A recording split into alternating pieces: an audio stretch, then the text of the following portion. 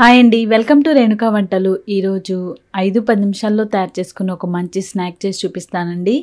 దీన్ని deep fry చేయని అవసరం లేదు అలాగే లోపల స్టఫింగ్తో చాలా టేస్ట్ ఉంటుంది. ఇదేంటంటే బ్రెడ్ వడ అండి వేడిగా ఉన్నప్పుడు పైన క్రిస్పీగా చాలా టేస్ట్ ఉంటుంది. ఈజీగా క్విక్గా తయారు చేసుకున్న ఒక మంచి స్నాక్ అన్నమాట. సో దీన్ని క్లియర్గా ఎక్స్ప్లెయిన్ చేస్తాను. స్కిప్ చేయకుండా చివరి వరకు చూడండి. ఫస్ట్ లోపల స్టఫింగ్ కోసం మీడియం సైజు బంగాళదుంపలు నేను ఒక రెండు ఉడికించానండి. బాగా మెత్తగా ఉడికించి ఇలా తొక్క తీసేసి ఇలా కొంచెం మెదిపినట్లుగా మనం గిన్నెలో వేసుకోవాలి. నెక్స్ట్ బాగా సన్నగా తరిగిన ఉల్లిపాయ ఒకటి ఒక కరివేపాకు రెమ్మ ఒక పావు స్పూన్ కంటే కొంచెం తక్కువ సాల్ట్ వేయండి. ఈ స్టఫింగ్ వరకే అనమాట బ్రెడ్లో కూడా సాల్ట్ ఉంటుంది కాబట్టి ఒక హాఫ్ స్పూన్ మిరియాల పొడి అలాగే ఒక పావు స్పూన్ జీరా పౌడర్ ఒక పావు స్పూన్ మాత్రమే కారం వేసుకోండి. అలాగే రెండు చిటికెళ్ళ పసుపు వేసుకోండి. మిరియాల పొడి ఉంటుంది కాబట్టి కారం తక్కువ వేసుకోవాలి.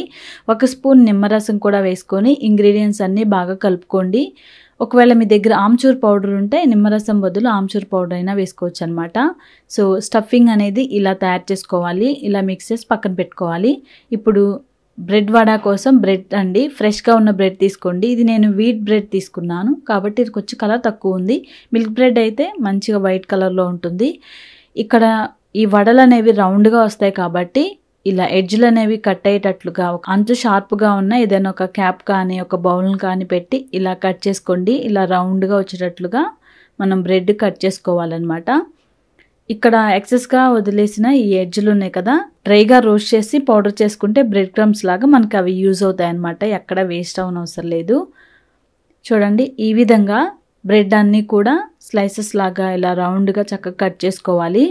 ఇలా కట్ చేసిన తర్వాత ఈ బ్రెడ్ని కొంచెం అప్పడాల కర్రతో ఇలా ఒత్తుకున్నట్లయితే కొంచెం పల్చగా స్ప్రెడ్ అవుతుంది. గుర్తుపెట్టుకోండి ఫ్రెష్ బ్రెడ్ అయితేనే ఇలా చక్కగా స్ప్రెడ్ అవుతుంది అనమాట బ్రెడ్ కొంచెం రోజులు గడిచినాయి అనుకోండి కొంచెం గట్టిగా అయిపోయి ఇలా మనం రోల్ చేసినప్పుడు తునిగిపోతుంది. కాబట్టి వీటికి ఫ్రెష్ బ్రెడ్ తీసుకోవాలి. ఇలా స్ప్రెడ్ చేసుకున్న తర్వాత ఒక బ్రెడ్ స్లైస్ మీద ఇలా బటర్ కానీ లేదంటే గట్టిగా ఉన్న నెయ్యి కానీ అప్లై చేయండి. ఆ తర్వాత దానిపైన రెడ్ చిల్లీ సాస్ కానీ గ్రీన్ చిల్లీ సాస్ కానీ లేదంటే టొమాటో కెచప్ పైన ఇలా అప్లై చేసుకోవాలి. ఆ తర్వాత స్టఫింగ్ని ఇలా నీట్గా స్ప్రెడ్ అయ్యేటట్లుగా కొంచెం స్టఫింగ్ ఎక్కువ ఉండేటట్లుగా చూసి పెట్టుకోండి. అప్పుడు ఇవి తినేటప్పుడు టేస్ట్ ఉంటాయి. దీనిపైన పెట్టే బ్రెడ్ కూడా ఇలా బటర్ అప్లై చేయాలి. ఆ తర్వాత ఈ బ్రెడ్ స్లైస్ని మనం స్టఫింగ్ అంతా పెట్టి రెడీగా పెట్టుకున్న దానిపైన బోర్లించి పెట్టేయండి. ఇలా పెట్టేసి కొంచెం ప్రెస్ చేసుకోవాలి. ఇప్పుడు అంచులు అనేవి సీల్ అయ్యేటట్లుగా ఇలా కొంచెం వాటర్తో ఏళ్ళను తడుపుకొని ఈ విధంగా అంచుల్ని ఒత్తినట్లయితే అంచులు అనేవి అతుక్కుపోయి మనకి స్టఫింగ్ అనేది బయటికి రాదు.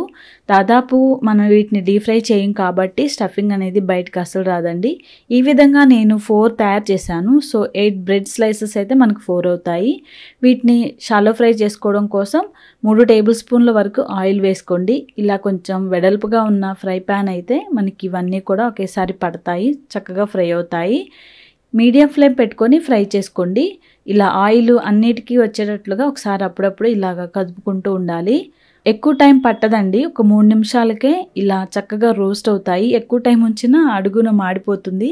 కాబట్టి మీడియం ఫ్లేమ్లో ఒక మూడు నిమిషాలు ఉంచుకొని వీటిని ఇలా తిరగతిప్పుకోవాలి. తిరగతిప్పుకున్నప్పుడు ఆయిల్ తగ్గుతుంది కాబట్టి మరొక స్పూను రెండు స్పూన్ల వరకు ఆయిల్ ఇలా వేసుకుని ఇలా కొద్ది ఆయిల్తో వీటిని చక్కగా ఫ్రై చేసుకోవచ్చు. ఇలా ఫ్రై చేసుకోవడం వల్ల క్రిస్పీగా ఫ్రై అవుతాయి టేస్ట్ బాగుంటాయి. ఎక్కువగా డీప్ ఫ్రై చేసినట్టు ఉండదు అలా అని టేస్ట్లెస్గా కూడా ఉండదనమాట సో ఈ విధంగా రెండో వైపు కూడా మరొక రెండు మూడు నిమిషాలు ఫ్రై చేసుకుంటే బ్రెడ్ వడ రెడీ అండి చూసారా? చాలా ఈజీగా తయారు చేసుకోవచ్చు. క్రిస్పీగా చాలా టేస్ట్ ఉంటాయి. వీటిని టొమాటో కెచప్తో కానీ మైనస్తో కానీ తింటే సూపర్గా ఉంటాయండి. పిల్లలైతే బాగా ఎంజాయ్ చేస్తారు. వాళ్ళకి రెండు తింటే చాలు కడుపు నిండిపోతుంది. అంత టేస్టీగా ఉంటాయి. మీరు తప్పకుండా ట్రై చేయండి. ఎలా అనిపించిందో నాకు కామెంట్ చేయండి.